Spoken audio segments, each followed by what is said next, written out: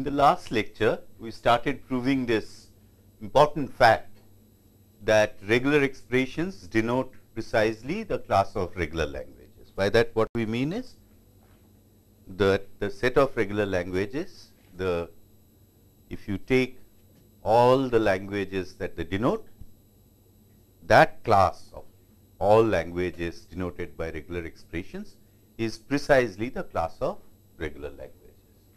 And uh, for this there are two parts in proving this in a straightforward manner.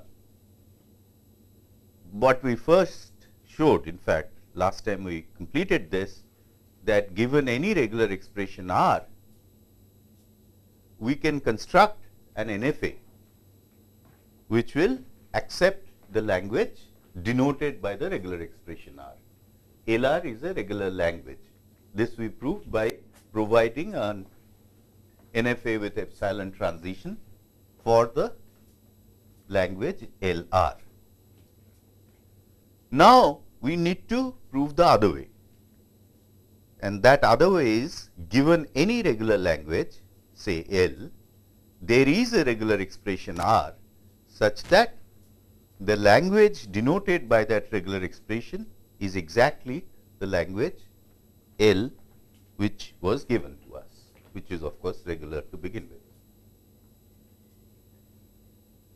So, one point is that we are saying given any regular language L, how does one give a language, regular language? Because in general uh, regular language is infinite, so one can't list out all the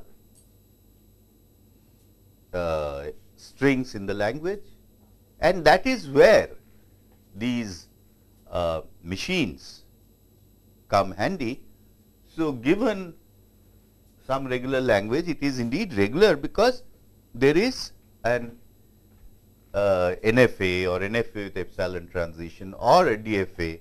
In fact, all three of them, there will be some one or the all three such machines which will accept that regular language. So, what in effect is there is that what we can say is in fact, what we are going to prove the following that given a DFA M, we can construct a regular expression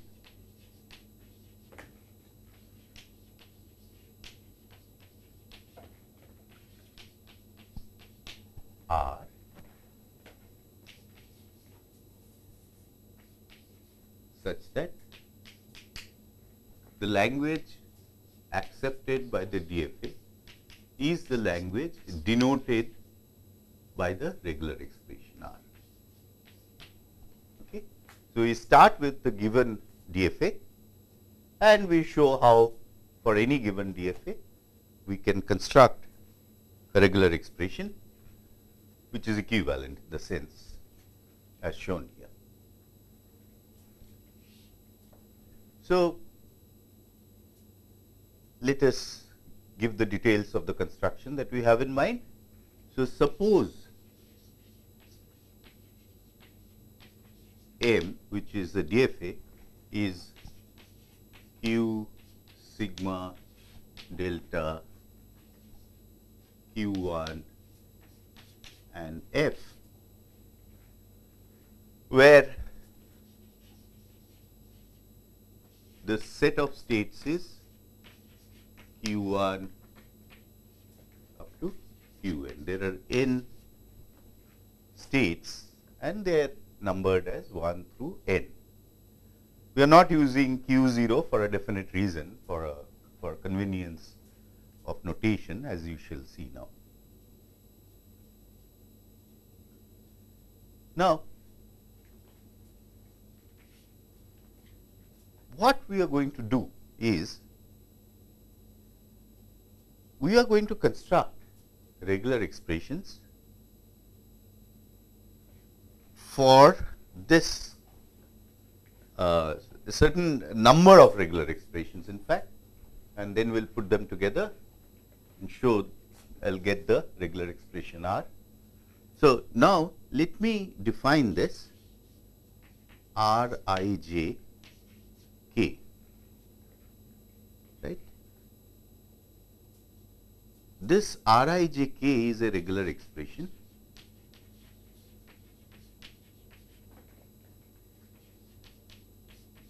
such that the language denoted by R i j k, this language is the set of all strings which two things one delta hat of q i x is q j. So, that means in other words that such a string x will take the machine from state q i to state q j and further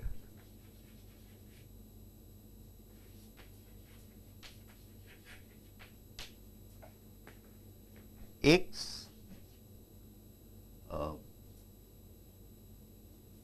let us say the machine m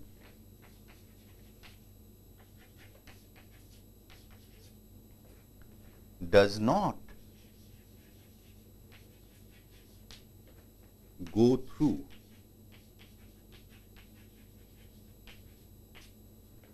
any state whose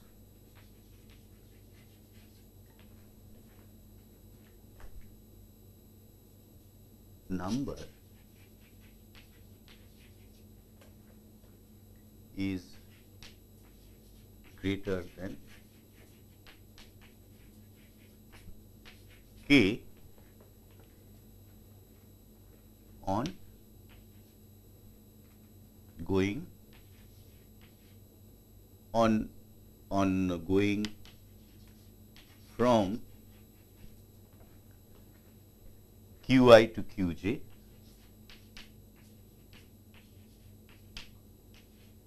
on.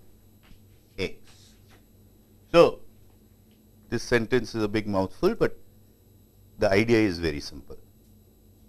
What we are saying that this R i j k, now notice there are three uh, of these i, j and k and how they are occurring? Firstly, R i j k is a regular expression which will have strings such that each such string x will take the machine from state q i to state Qj. But there is a condition that the as the machine, so in fact a picture will look okay. So, this is the state q i, this is the state q j and as this is let us say the string x. So, there are these states which are intermediate states as the machine is going from qi to qj and this is let us say ql1, the state is ql2. What we are saying, none of these states is such that for no qli, li is greater than k. So, the machine is on x, the machine is going from qi to qj. What we mean by that does not go through any state is that that on this string x sometime let us say the state is reached and then the state is left. All these states must have its number you know every state has a number from 1 to n all these states the machine is going through on the on this x from qi to qj, these numbers are strictly less than or equal to k. But notice either i or j or both can be greater than k. because we are not going through the initial or the final state reached. By going through one means one passing through this, right? You reach and then you leave. Suppose I manage to build these regular expressions and k can vary, you can see either the machine takes a direct edge from i to j or machine goes from i to j going through the state q1 or q1 q2 or q1 q2 q3 and so on. What should be clear that the language accepted by this machine M is R 1 J 1 N plus R 1 g2 N R. Where? J1, J2, QJ1, QJ2, QJM,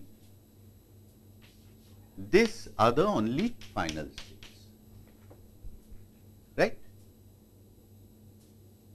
Let us understand at least this part in the beginning before we see how these can be defined. What is it saying? So, firstly remember according to this Qj1 is a final state. So, all the strings which take the machine from the initial state which is Q1. So, this is where the index 1 coming to that state J1 which is a final state. All these strings must be in the language accepted by M because they all take the machine from the initial state to one of the final states which is J1. Then let us say I have another set of strings which take the machine from one to another final state which is Qj2. Now, that what about that passing through? You see here what I have here as a superscript which is n. Now, there are only q1 through qn these states are there. So, in a way when I have n as superscript this means that the machine is free to visit any state whatsoever in passing through in, in its in its path to 1 to j1, 1 to j2 and so on. So, in that sense this quantity R 1 J 1 n denotes maybe I should write that somewhere. Clearly what we are trying to say. The language denoted by this regular expression is the set of all strings x in of course sigma star that is the our alphabet. Sigma is the alphabet. All those strings in sigma star such that delta hat of q 1 to q 1 on the input x is q g 1. Point I am trying to say although there is a qualification which is in terms of the superscript that means this in general what it is saying is that this string does not pass through any state whose number is higher than n. But since there are no string, no states whose number is more than n, this really is no restriction at all. So, therefore, this is true. Now, as we have said here, Qj1 is an element of the set of final states.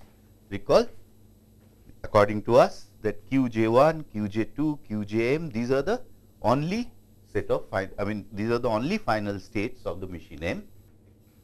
Therefore, a string which is a, a string is accepted if and only if it takes the machine to one of the final states. So, clearly you can see that the language therefore, language accepted by M is nothing but the union of so let me just write this here union of the language denoted by the set of strings uh, or the regular expression this regular expression where this union is over q j k is one of the elements of the final states. So, this is not too difficult to see. If my definition, if I am, if I can indeed define R i j k, it, uh, ultimately R i j n, then I can this union of course, I can do in terms of regular expression if I just take this each individual regular expression put pluses in between that is the union of the languages languages denoted by each one of them individually. So, then I would be able to write out a regular expression for the language accepted by N. So, now how can we build R 1 J n in particular of course, we are interested more with R 1 to final state that kind of regular expression, but with the superscript n. And this is where a very nice idea which will remind you of your dynamic programming algorithms that you have seen in algorithms courses comes into. So, basically what we are going to do is first of all define Rij 0 for all ij then using these definitions, we will build Rij 1 for all ij and so on. And then we will be able to see that we will be able to build Rij with the superscript n again for all ij using the previous ones. So, first of all let us see what does it mean to say this regular expression. What is R i j 0 should be? According to us that this is the set of all strings which will take the machine from i to j without passing through any state whose number is greater than 0. But every state has number greater than 0, which means what? Such a string x cannot pass through any state at all. It can just go directly to from the state q i to state q j. And that means what? That means these are really single symbols which takes the machine directly from state i to state state j, state q i to state q j. And such a direct transition of course, does not pass through any state. This is one case and there is another case that we will talk of right away. So, let me just say this is the set of, so in fact, let me write it this way. It is the set of all A such that delta Q i A is Qj. And this is a symbol in sigma. So, let me write clearly.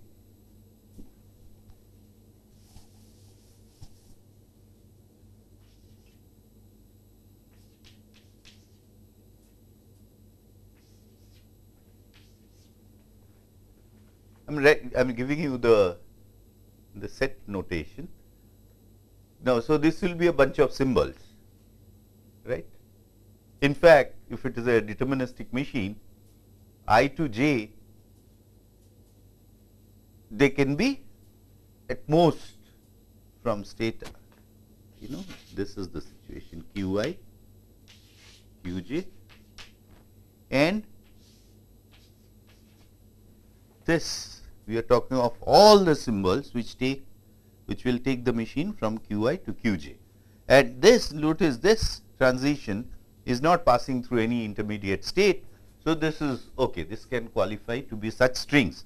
So, now think of the A as a string that string should be in the language denoted by Rij with superscript 0 by definition.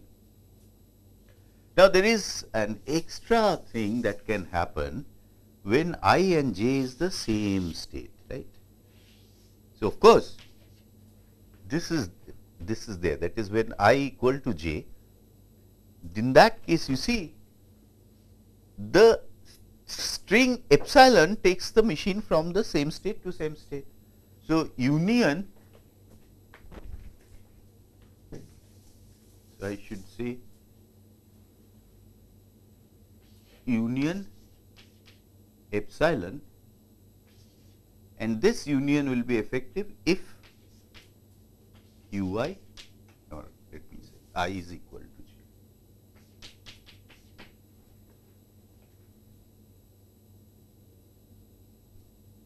So, we can actually more correctly I should say or a in sigma such that delta qi a is Qj. This set union, so we will add the epsilon if i is equal to j. So, there are two cases if i not equal to j this is the case. In that case it is only this that epsilon will not come otherwise epsilon also of course takes the machine from qi to qi. Therefore epsilon should be there. And and let me let me take a simple example. Just to illustrate this what we are saying. So take a very simple machine. In fact our the first dfa that we had seen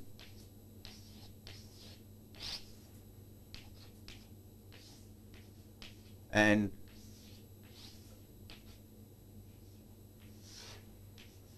recall that this DFA accepts the set of all binary strings, finite binary strings, which each of which has even number of zeros. So, let me number these states as 1, q1 and q2. So, what is let me say what should have should be r 1 1 let us say R 1 1 0. According to this, since both i and j is same, firstly is there a direct transition? Indeed, it is there and that is denoted by the regular expression A and epsilon of course takes the machine from here to there itself So, we will agree that this regular expression which stands for the set A and epsilon just the string A and the epsilon has two elements. This is the set of all strings which will take this machine from 1 to 1 without visiting any other state. In fact, here is it can't visit 1 or 2 because their numbers are greater than 0 right. So, on the let us take another example if we wish. So, what is R 1 2 0? It is basically all those direct transitions and there is exactly one. So, this is given by the regular expression. So, 0 which means the set of all strings which will take the machine from q1 to q2 without going through any state whatsoever and that means there is a direct we can only take a direct transition and there is only one symbol which can take the machine from Q1 to Q2. So, therefore, this way you can write this clear I can complete. So, how many uh, will be there for with this uh, such regular expression will be there with superscript 0 of course R 1 1 R 1 2 R 2 1 R 2 2. So, these are the at the base level these are the regular expressions that I build. And now, let me inductively assume that I have built all regular expressions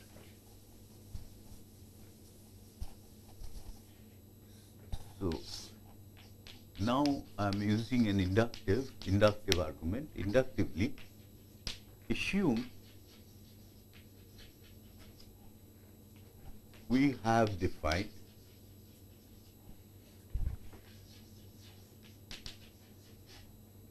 for all i j and for all i j and for all k let us say less than equal to m what I have defined? I have defined already R i j k. We assume inductively that these definitions are there with me R i j with superscript k where k is less than equal to m. And in fact, what I was trying to show you a little ago that you can start the induction with the base case where m is 0 right. With this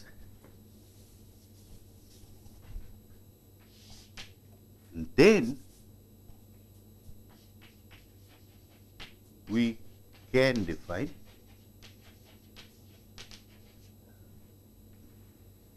R i j m plus 1 for all i j. Right. So, you had the definition of R i j m and now you would like to define R i j m plus 1. So, you see look at this what is R i j m plus 1. Suppose I have a string which is in the language denoted by this regular expression. By that what I mean? that that string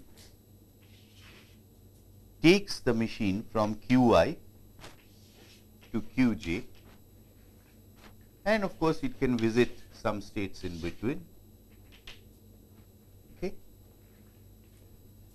None of these states can be their index, their superscripted this, this one can be higher than m plus 1 So, what we are saying is assume x is a string in this which takes the machine from qi to qj without passing through any state whose number is higher than m plus 1. Now, such a string can of course go from q I mean take the machine from qi to qj without passing through m plus 1 at all. So, what are those strings which take the machine from Qi to Qj passing through all states, passing through no state whose number is m plus 1 or higher that by definition is R i j m. And now, consider the more interesting case. Here is a string x which takes the machine from Qi to Qj and in this the state Qm plus 1 occur some number of times, one or more times. If it is occurs 0 number of times, then of course it is here and we are only talking of strings which take the machine from i to j without passing through any state higher than m plus 1. And now, so, so in the interesting case, let us say q m was here. So, this is first time it came to q m plus 1, then again after some time it came to q m plus 1 and so on. And then finally it came to again q m plus 1 in general. And then there is this part of the string does not pass through m plus 1 at all. So, in other words what we are doing is we are marking out in the sequence of states the machine goes to goes through in going from q i to q j on the string x those states whose numbers are precisely q I mean who, those states which are q m plus 1. So, such a string x can be what is a string like this and must you must realize this is clear that since this entire string is in the language generated by R i j m plus 1 and in this part this is the first occurrence of the state q m plus 1. So, this string has to be from the regular expression which is R i m plus 1 m right because m plus 1 does not occur and all other states are their numbers are less than this m plus m m or less so, so this is a typical string. So, let me say y 1, y 1 has to be in the language generated by this and take a string like this. Let me take, call it y 2. What is y 2? y 2 takes the machine from state q m plus 1 back to state q m plus 1 without passing through any state whose number is higher than m right. So, therefore, can I say y 2 has to be in the language R i j sorry R m plus 1 to m plus 1 y 2 takes the machine from m plus 1 to m plus 1. So, R m plus 1 m plus 1 and superscript is m because it is not passing through any state higher than this. So, there, there are many such strings because the machine may go from q m plus 1, q m plus 1, q m plus 1 so on and then finally, there is this last bit of these strings let me call it y L. And what does y L do? y L takes the machine from q m plus 1 to q j again without passing through any state whose number is higher than m. So, clearly y L will be in the language of R m plus 1 J M. Not writing correctly. I should say Y L is a member of the language denoted by this regular expression. Now, now let me see now what is our R i j with superscript m plus 1 should be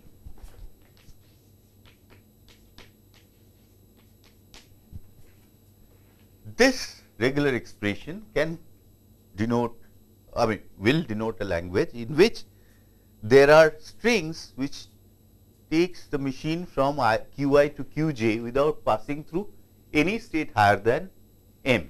So, those strings that set of strings is denoted by Rij n or it can pass through there are we now need to talk of the second case that we talked of strings which take the machine from qi to qj but in doing so it does pass through this qm plus 1 and we have seen such strings can be written as Ri first the machine goes from i to m plus 1 without passing through any state higher than m. Then you know it goes to this, goes to this. Those will be the strings which take the machine from m plus 1 back to m plus 1 without passing through any state whose number is higher than m. And how many such pieces can be there? 0 or any number. So, therefore, I will put a star here. All such strings are okay for me. And then finally, after the last qm plus 1 occurrence, there has to be a string which will take the machine from m plus 1 to j again without passing through any state higher than m. So, these two regular expressions, their language is denoted. If you take their union, that is precisely the definition of Rij m plus 1. Now, notice what we have done using the definition of various Rij's eh, with superscript m, notice the superscript here is m. Using that, I have defined Rij m plus 1, right. So, in this example, if we wish, we can uh, before before taking the example, let me complete the proof, or at least say what the proof is now. So, I see that inductively I can create, I can define all Rij starting from 0, then 1, then 2, then 3. Then when I have Rij n for all Rij's, then of course, I take the those regular expressions whose strings take the machine from the initial state to one of the final states and I add them up, I put plus in between and therefore, I get the regular expression for the language accepted by the entire machine M. Clear? So, what we are saying just once more, we define using above recurrence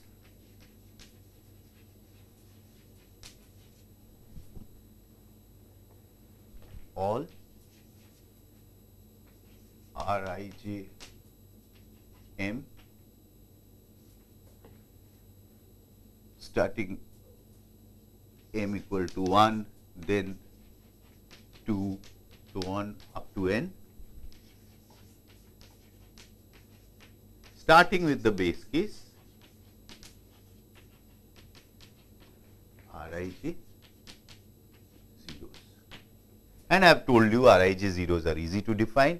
Then use that this recurrence to define Rij 1s, then Rij 2s, then Rij n's and once you have up all the RIJNs, then the language accepted by M, this machine, is of course, we had explained little while back, is going to be the regular expression Rij1 plus Rij2 plus Rij with superscript m n, where these are the Qj1, Qj2, Qjm constitutes the set of final states.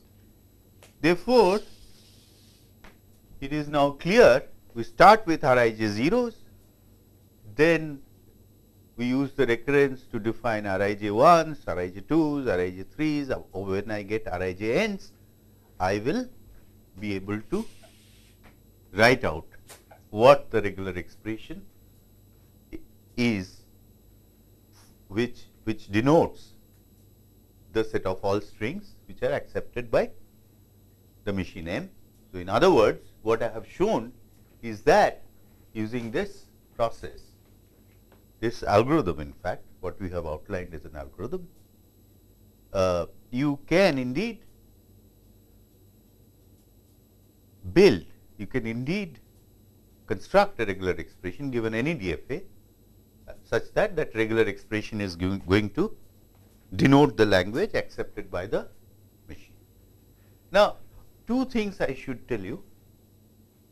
One is that and the two things are this can give you horrendously long big regular expressions and, and you can see why you see that in general as you go from you know Rij m's to r i j m plus 1 look at the size.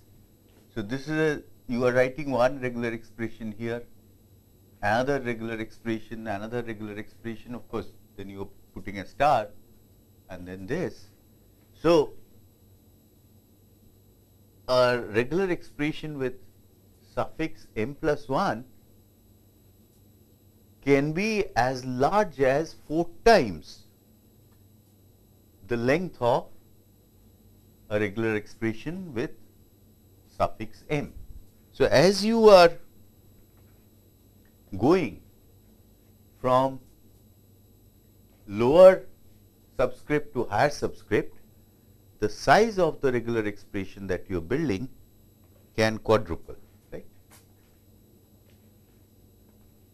And uh, if so, so basically in the beginning of course, this is some constant, each Rij 0 is some constant in length, but then next time it becomes 4 times of that constant, next time it becomes 4 times of the previous constant. So, 16 times of the base case and so on. So, therefore, you can see that the expression that you are going to build in general can become exponentially long in terms of exponential in the number of states. This, this suffix is of course goes up to the number of states.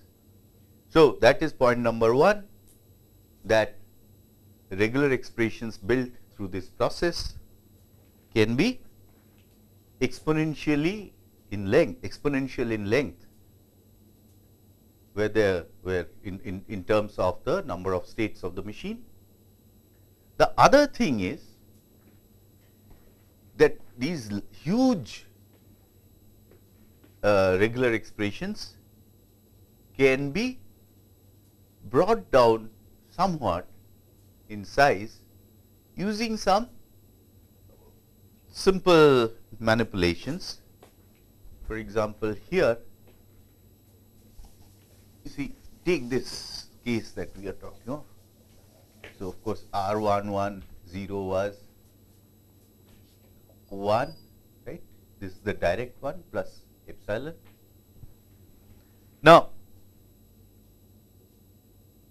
if I want to write out R 1 1 1 according to this what do I need to do? I will write R 1 1 0 right then R. Now, what is m plus 1? This is 1. So, again R 1 1 then R remember m plus 1 is 1. So, R 1 1 whole star and then R 1 1 m plus 1 is 1 and your j is also 1 right. So, this is this is what we will write. If I if I so so in terms of this what is R 1 1 0 is of course 1 plus epsilon right? And then 1 plus epsilon then 1 plus epsilon star then 1 plus epsilon. Okay? Now it is easy to see what we are saying that this is of course a long expression, but do you see that this actually you know is you know much simply could have been written as simply 1 star isn't it? R11 which can go through only one and not this state Q2 is basically any number of loops here either 0 or more times. So, this whole thing could be simplified you know at least here using uh, ad hoc arguments or using some algebraic laws of regular expressions to a very simple expression. So, this whole, whole huge thing is basically boils down to this simple regular expression. So, how do we simplify regular expressions? That may be one question. Like this is this is a this is a case in point that you know you start using this using our uh, recurrence blindly I got this and but this can be massaged to this very simple thing. So, for that one uses one can use some laws which are very general and I will talk about them now. Here I have listed out some standard algebraic laws for regular expressions. What do we mean by algebraic laws? You see for example, when you say x plus y whole square equal to x square plus 2xy plus y square, that is an identity algebraic com coming out of the from arithmetic. So, here in the same manner what x and y were in that example where they stood for any number. Here this L and M in these for example, they stand for any regular expression. So, what we are saying here for example, if you take this first one, we are saying take any regular expression and another regular expression, if we put a plus in between, then the regular expression that we get that denotes the same language as the language denoted by taking you know putting it the other way around as you can see. So, you have to understand this equality in the sense that the language is denoted by the left hand side regular expression is same as the language denoted by the right hand side regular expression and sometimes you may call these L and M they are variables for regular expression in the sense that they you can plug in any regular expression for L L any regular expression for M, then you will get an uh, some equality. What you are saying is that the left hand side regular expression denotes the same language as the right hand side regular expression on plugging in any regular expression into L on M. You know, the, for example, the first one, it is coming out of the fact what is plus? Plus is basically union, right? Plus is the union of the two languages denoted and we are saying and as you know union operation is commutative right and this is associativity of union.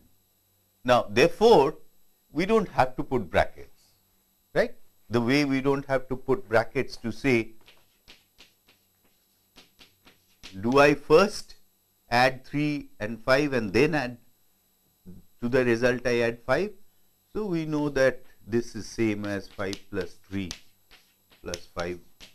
By this what we mean is the order of these operations, these, these are binary operations. So, we could have done only 2 at a time. That order is not important. First evaluate this, then do this or evaluate this, then do this, it does not matter.